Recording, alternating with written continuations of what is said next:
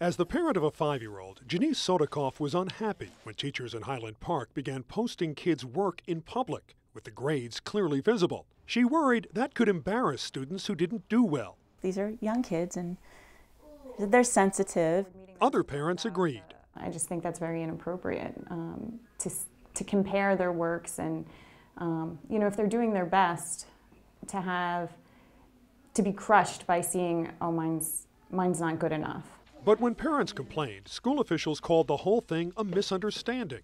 Teachers were confused. That was just a misunderstanding. That's not what anybody was told to do. They even gave parents what they said was a copy of the policy.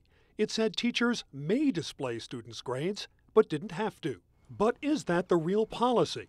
For weeks, parents fought to get copies of the actual emails sent to teachers under the state's open records law.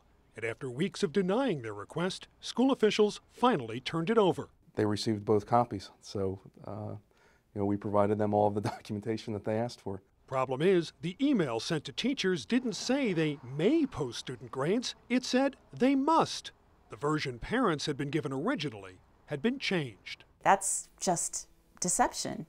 Why not just come come out and say, okay, it was a bad idea, we apologize, we're going to backtrack here, a lot of people are upset, rather than denying it ever happened and blaming the teachers for being confused. Highland Park school superintendent denies there was any kind of cover up.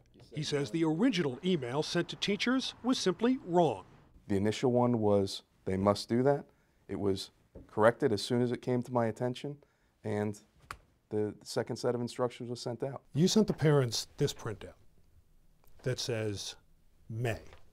The parents said, We don't believe this. We want to see the electronic copy. When you finally did release it, it's a different document. And you're saying that's not a cover up. Uh, that's I'm- just an honest mistake. I'm saying that's not true. It was a mistake and it was corrected.